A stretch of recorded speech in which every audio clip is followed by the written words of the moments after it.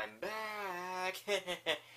yeah, can help myself there. Alright, so now that I've covered up part one with the plot, Andrew Brenner's writing, Mark Moraghan's narrating, now we'll finally get to the characters, and I think the voice. We'll, we'll see what happens. Alright, so uh, here are the characters that I've covered up. The characters I'm going to be talking about are Thomas, Percy, and James, all as a tag team, Gordon, Spencer, and yes, the new characters, which are Sir Robert Norramby, the Earl, Millie, Connor, Caitlin, and last I'll save Stephen as the special attraction in this movie. yeah, and I was reading this off of a guideline, so I won't get you know sidetracked or any. Oh, excuse me. Anything. All right. So let's get on with Thomas, Percy, and James. Yeah. Why did you think I had them up for this for the review? yep. So Thomas, Percy, and James are all the main character in this. Well, not really all the main. Just they all share the lead role, which I think is actually brought on really well. Yeah. I mean, seeing these guys, you know, all having the lead role is awesome. And hell, I mean, Thomas, Percy, and James are actually one of my favorite trios in the Thomas the Tank Engine franchise. Yeah. Yeah, I mean, of course, others are Gordon, James, and Henry, or Thomas, Percy, and Toby, or, well, yeah, I think you get the point. Yeah, and Thomas, Percy, and James are actually one of my favorite trios out there in the show. I mean, the way they all, they all share the role together is good because considering the fact that Thomas, Percy, and James are also the main characters of the series. Yeah. I mean, and what's also interesting is that thanks to Andrew Brenner's writing, all the characters now have their original personalities back. Yeah, they're finally back in character. Thank God. like, here are the examples. Percy's no longer a complete wimp, not a total, well, I mean, he's not a complete baby slash complete idiot. Yeah, like he's no longer a blithering idiot. He's finally back to being naive. And of course, like he would ask questions at time to time. But hey, it's Percy. I mean, wouldn't he actually do that? I mean, hell, he is the youngest member of the family. I mean, like, I'm, I'm glad that he's not so juvenile as he was back in, you know, really shitty episodes like um, Percy's New Friends or um, Percy's Parcel or Up, Up, and Away. And trust me, those are a few of the episodes that I absolutely hate. Because Percy, of course, as you remember, in, you know, the from season 8 to season 16 was a complete idiot who was always asking way too many questions and of course a complete baby. But now we finally get back to to Percy now being really mature. Well, actually, just a little more. Well, he's a little naive, but he's still very mature. I mean, of course, he's very clever like he used to be. Of course, he's still very cheeky. He's very innocent, and that's what I like about him. Besides, I mentioned that Percy was my favorite character in the show. then there's James. James's personality is also brought on really well. He's an asshole in this movie. But hey, it's James. He's supposed to be an asshole. I mean, that's the way we like him. I mean, James, of course, is he's not always well. He actually does care about his pain, but he also, when at the part where Percy and Thomas show up at Brendam Docks, James actually wants to take the train all by himself, regardless, and of course, you even go back to being how stubborn he used to be, where he actually backs onto the train and immediately couples on, ready to leave. Wow, what a douchebag. but don't worry, James is a lovable douchebag. I mean, he's of course really conceited. He's he's always complaining.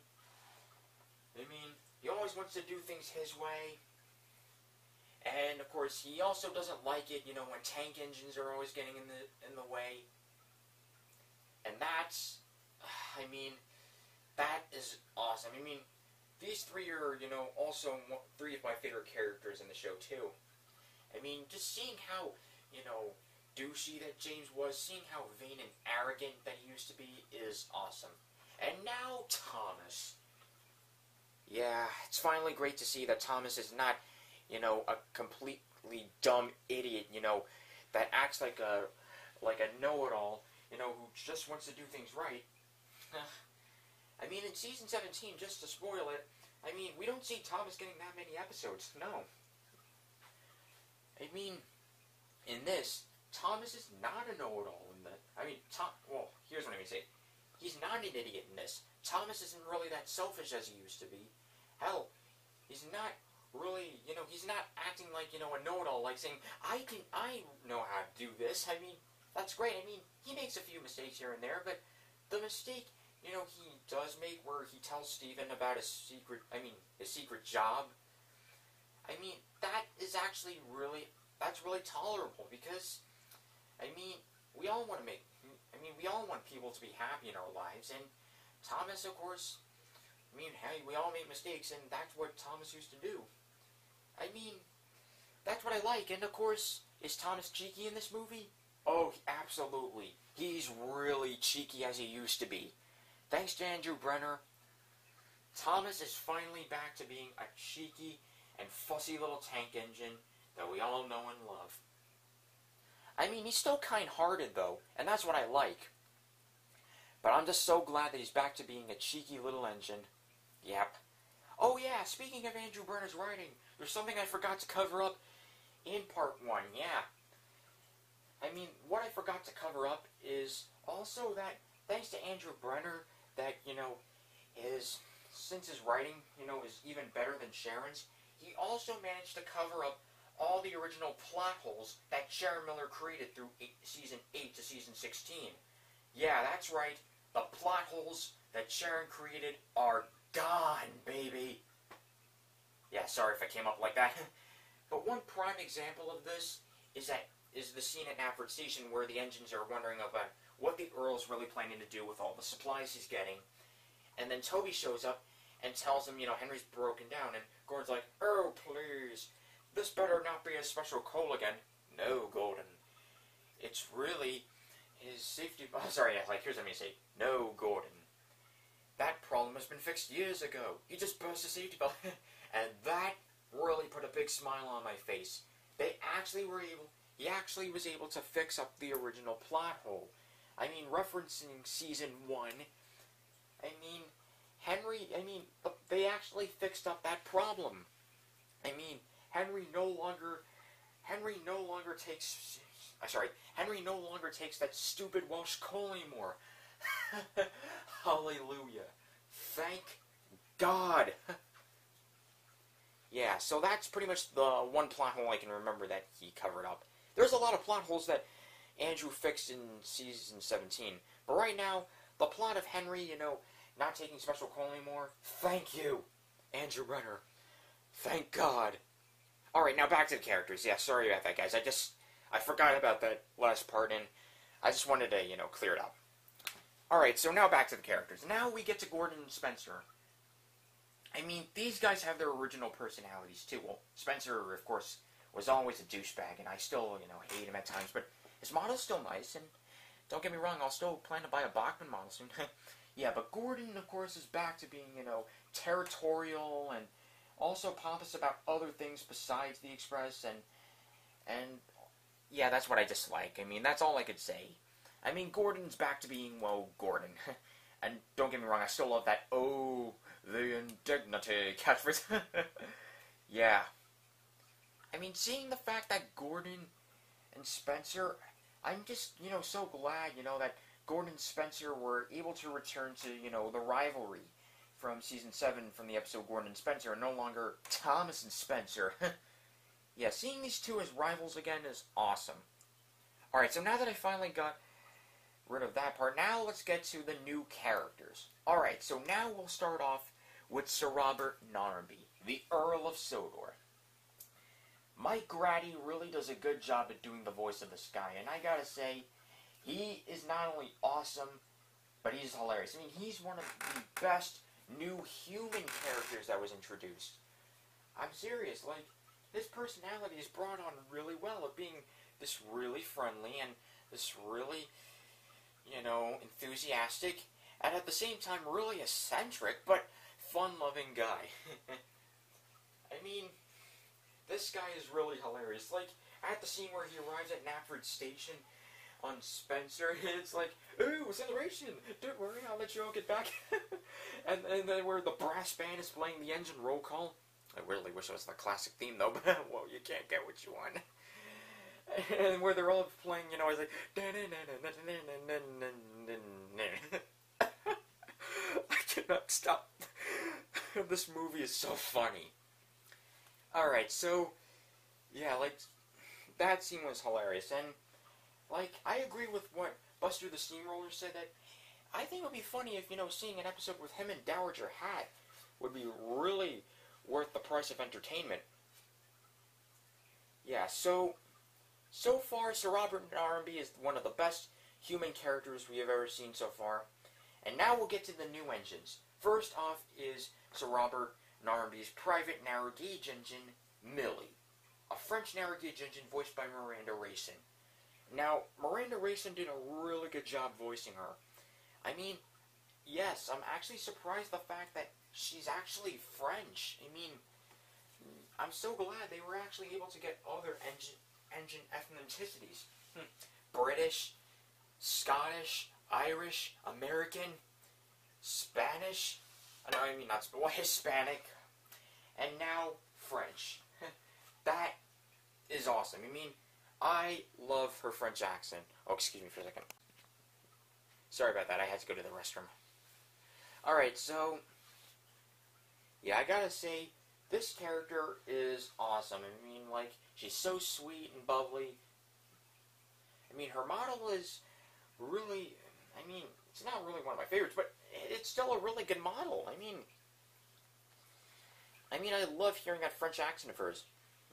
I mean, I like her personality. And, of course, the excuse, you know, that Andrew Brenner wrote in that Millie hasn't been seen for a while because she'd been locked up in her shed while the Earl was, you know, traveling the world. Good excuse. Yeah, I could, I could buy it. though I would comment about her whistle, though, which, of course, obviously is Lady's Whistle from Thomas and the Magic Railroad. But oh well. I mean, even though it's ladies, for some reason, it sort of works. For her, yeah. So, yeah, Millie's a great character. Now we'll get to Connor and Caitlin. Two streamlined engines voiced by Jonathan Forbes and Rebecca O'Mara.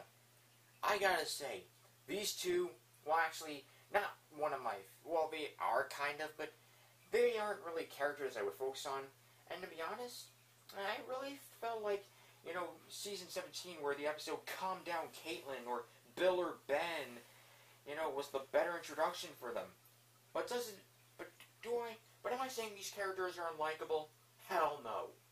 These characters, uh, they, these guys are really likable. I like their personalities of how, you know, really friendly they are, but if, except for the fact that Caitlin can be a little energetic, they are amazing. In fact, seeing how fast they're going, and even though that the fact that they have a little bit of an Irish accent because well they were voiced by Jonathan Forbes and Rebecca O'Mara who are from Ireland and, and I'm not being racist here sorry and like I'm actually I mean the voices work for them anyway I mean they're really good I mean their models are spectacular and I mean I even like their coaches too alright so now that I got that out of the way now we'll get to the main attraction Stephen the Rocket.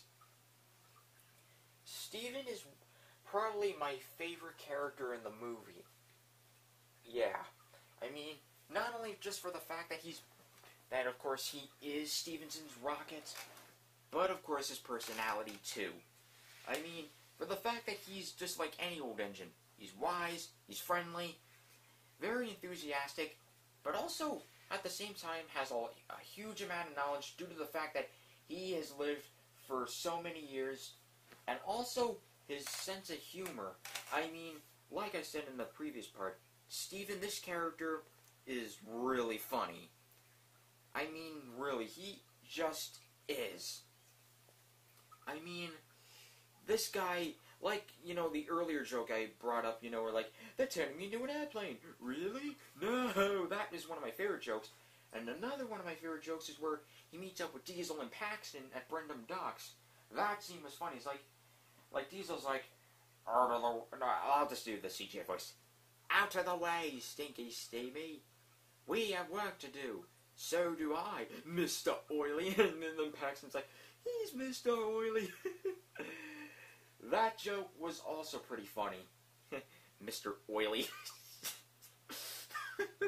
I could not stop laughing. Alright. Yeah, and the guy who did the voice of Stephen is Bob Golding. And I gotta say, Golding had really done a good job at doing the voice of one of the most oldest engines ever. I mean, I love his personality. I even like, you know, how the fact that he's really not that strong, he's really not that powerful, he's really not that fast, but at the same time is a really good friend and whose personality can make up for, you know, his flaws, but because I agree, he's awesome. And before you ask about the funnel part, I actually prefer, you know, his newer funnel, the white one with, you know, his, you know, that gold, you know, rim, whatever the rim is called on the funnel. Alright. So Stephen is one of the best, and I actually wanted to bring this up, something I just, I just want to bring up, like, when I also saw Stephen, I was thinking to myself, hmm, this is like Stepney again, isn't it? Yeah, and I actually agree. Remember, you know, do you guys remember, you know, in the Railway series, and of course in season four with Stepney, where you know you had an engine based off the actual engine, examples Stepney, Wilbert, Flying Scotsman, where they would show up and visit the island of Sodor? Of course you do. And this episode actually reminded me of it. And even though the fact that Stephenson's that Stephens' design is not exactly accurate to, you know, the actual Stephenson's rocket, I mean, it's still really good. I mean, hey, they had to give him a face somehow. yeah, so, so far, Stephen is the awesomest and probably even one of my favorite characters in this movie. Now, before we end this part, yeah, I think I'll talk about the rest in part 3. Yeah, before we get on, like, there's one character who, of course, does return from the classic series. Well, from mostly from season 6. And that is none other than Jack, the front loader. Yeah, hold on. Yep, this guy. Jack is finally back. I'm so glad. Jack is my favorite pack member, and I'm not really a big fan of the pack. But I. No, but. Yeah, they're so good. Hell, I really wish it, at least a majority of the pack, like Alfie, Oliver, the pack. Seriously, why do they have to name that excavator Oliver? I mean, we already have a good Oliver. but Great Western. Never mind. Uh, Kelly, Isabella, and those stupid dump truck bastards, Max and Monty. Yeah, I can help myself there. I mean, seeing Jack again is awesome. I mean, I even love the voice that Steven Kynman had actually given him in this. David Menkin, eh, he's okay. But Steven Kynman really did an awesome job at doing the voice of Jack, and his design has also changed, now from a circular to a now rectangular. And surprisingly, even though I'm a longtime Thomas fan, and I never thought I'd say this, but I actually prefer the CGI version of Jack. No, I'm not kidding. The CGI version of Jack is probably the better of the two. I mean, the original model of Jack, mm, I don't hate it. I mean, it was, you know, fun, you know, while it lasted. But now, this is even better. Yeah, so, welcome back, Jack. Jack is back. yeah, so that pretty much ends it there. The other characters you're definitely going to be seeing are, of course, your Topham Hatt, Henry, Edward, Emily, Toby, Diesel, Paxton, Cranky, um, who else? Harold, and Belle, who, sorry to say, I really don't care about that much. Um, Skarloey, Rheneas, Luke, um, I can't think of, oh, and Hero. Yeah, and that's pretty much it. Like, I can't really think of the top of my head, but no, well, I'll just end there. Yeah, so stay tuned for part three, you guys. Be back in a flash.